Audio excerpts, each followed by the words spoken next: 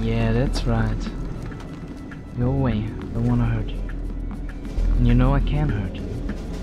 Well, you can hurt me too. That's, I think, a very important thing about um, legacy Splinter Cell games that they, uh, the enemies actually have the ability to hurt you within seconds, kill you, and um, that makes one of the core stealth aspects of the game actually, that you're um, trying to avoid these situations in which the enemies see you and fire at you. Uh, yeah these two guys are going to the technicians. Probably guarding them. Okay. Now we need a way to distract those guys. Uh, but first let's look around a little bit. We got a wall mine here. If you move slowly, nothing happens. Let's disable that mine. I wish I could turn out the power. You know, that would be perfect place. You get just hit switch and then turn out the power of the whole floor, but unfortunately it isn't going, so let's try another method. Um, method that won't work in future Splinter Cell games, probably. Yeah, exactly. Look what it is. You heard me now. And now he's going to investigate. I just hope I don't have to put him down here. Yeah, everything is going according to plan. He's investigating further. Go down in the direction of the fire. How are you feeling now, buddy, huh? Yeah, that's right. Your life is in my hands. Don't worry. Not here to kill you. Although I would like to kill you. You're just a mercenary. Damn mercenary. Come on, Sam. Changing to the right weapon. Yeah, that's right. Oh shit. Okay. Good night. Yeah, um, that's the thing about using ring airfoil rounds. Um, it's possible that if if you hit the body that he's just uh, stunned for a few seconds and uh, you have to you will have to close in and um, and hit him to to knock him out completely because uh, if you're not aiming at the head this happens if you're aiming at the head he's um, in 90% of the cases knocked out um, completely but in this case you've seen was not not knocked out. A little bit inaccuracy by the uh, game. Yeah, nothing better than a coke to disable some wall mines, right Fisher? Yeah, right. So let's see what these technician guys have to say after we disable the mines.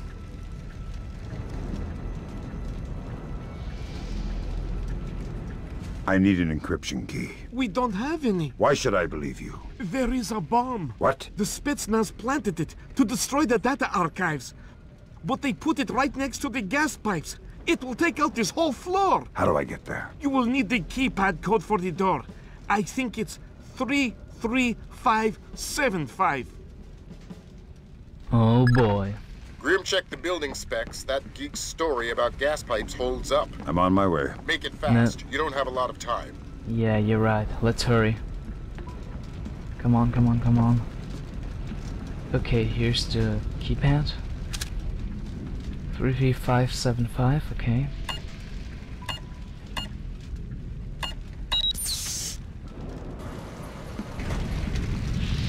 Okay, run, run, run, run, run. And slowly. Oh, wall mines. I hate wall mines. Can't use them. All they do is slow you down. No, I can't use them. I've tried it multiple times. The only way they explode if guards are going, um, if guards are passing by is if the guards are running. And the only way guards are running is if they really saw you. Otherwise they're just walking and then they disable the wall mines. Nothing gained from it. Except a little time maybe for stealth approach. Yeah, come on, come on. Pick that lock faster. Faster. Oh man, does it have to be so many? okay, we got it. Almost there. Yes. Okay, with that thing here and the bomb is defused. What do you say, Lambert, huh? Great work, Fisher. That could have been bad. But we've got a new twist for you. I hacked into the power grid. Somebody's thrown the breaker on the fire door circuit. Meaning you won't be able to open the doors until you found that breaker. Details on your OPSAT. Fantastic. More work for me. And another dead technician. Let's go into the auditorium and look for a way to open a self-step door we need to open. So, the power's in the basement as far as I remember. Those guys can't see us here.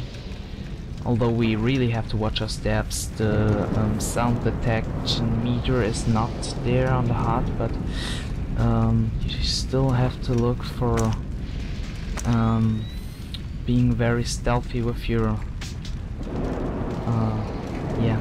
I thought I would go down the stairs. Maybe I try a different approach because the stairs I could could be spotted.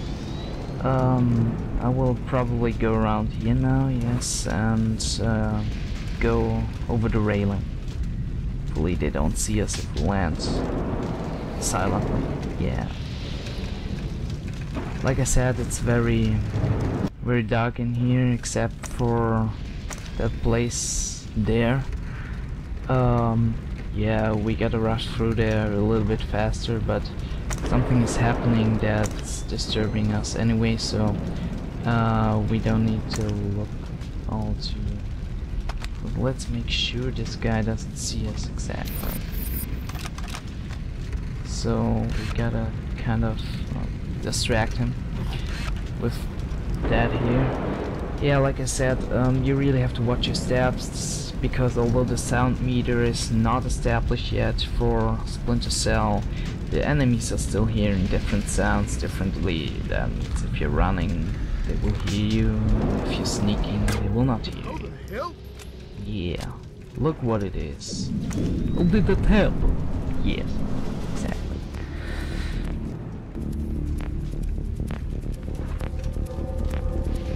Uh, or not. Okay, let's drive through here. And go up there. I just spotted somebody in the auditorium. Maybe our intruder. I need That's the backup reason. now. That would happen even if you if you weren't spotted that that just happens. So let's just stay cool guys and go through here because they're actually opening you opportunity to sneak in the basement. Which is pretty nice I think. What's important here is that you stay in the shadows and uh, stay very silent because this guy he has ears like owls. Yeah, this guy I'm talking about this one. Let's put out first put out the lights. Um, this light first here because um,